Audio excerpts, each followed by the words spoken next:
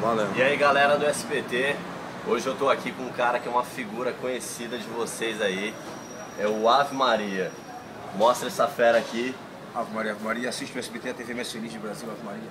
Você ama muito o SBT, mano? É minha vida, Ave Maria. Aqui é minha vida, é isso aí. É SBT. Ó, o pedido do Ave Maria é simples. Ave Maria veio morar em São Paulo agora. Saiu lá da, de onde? Da Paraíba. Paraíba. Saiu lá da Paraíba, veio morar em São Paulo pra, tra- trabalhar no SBT, é? Maria. Mas o que, que você quer? Você quer ser dono do SBT? Ah, não, quer ser diretor do SBT?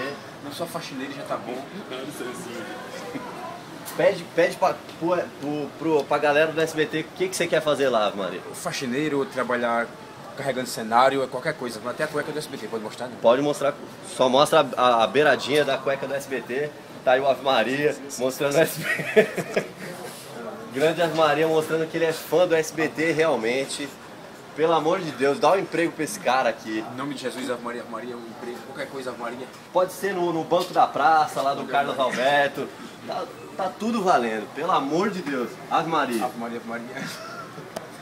Eu fico nervoso. Valeu, manda um, manda um recado final lá.